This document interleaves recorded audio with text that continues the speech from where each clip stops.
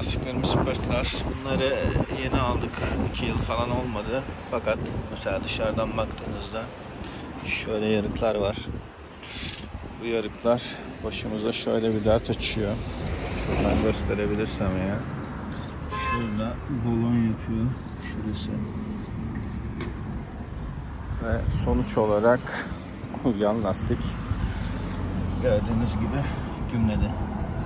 Yani bu lastik üzerinde gidilmedi. Bıraktım buraya bu sabah. Şu an bu halde.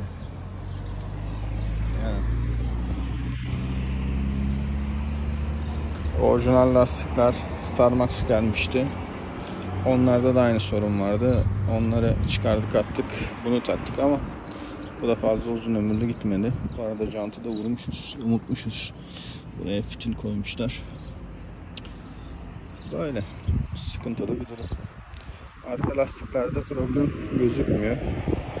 Onlarda problem çıkmadı ama onlarda çıktı. Yani gezilmiş olma ihtimali var ama bilmiyorum sonuç bu şekilde.